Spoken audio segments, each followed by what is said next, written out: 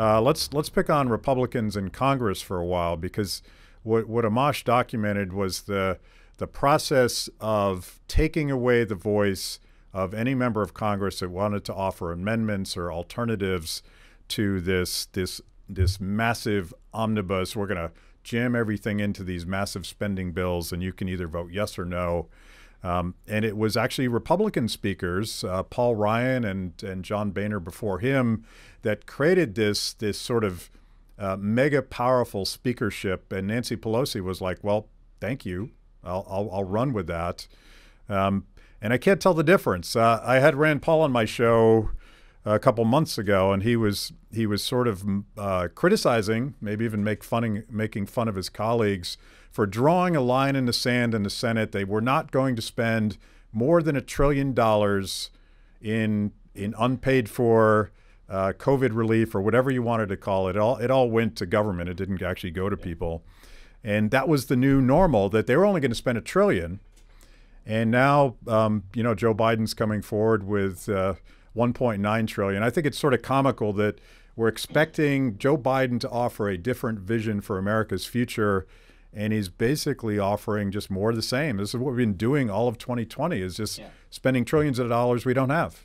Yeah, look, I, I, pointed out on my podcast the minute the Republicans uh, offered a trillion, they lost the debate. The minute you concede that spending borrowed money is a good thing, well, then you've already lost the argument. And if it's if if spending a trillion dollars that you don't have is good, why isn't spending two trillion better? They needed to make the point that we shouldn't be spending anything.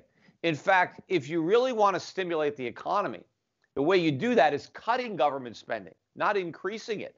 Because once you understand that the government only has what it takes out of the economy, then you recognize that government spending is a burden on the economy. It's a burden that the economy uh, must bear. Now, when the economy is strong and everything is good, well, maybe we can afford the burden.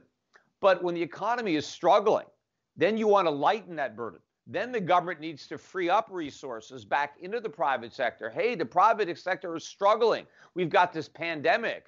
What can government do to help? Well, let's find a way to ease the burden. Let's cut back on our spending. So maybe we can lower taxes, or let's take some of these regulations that are just unnecessarily running up the cost of doing business.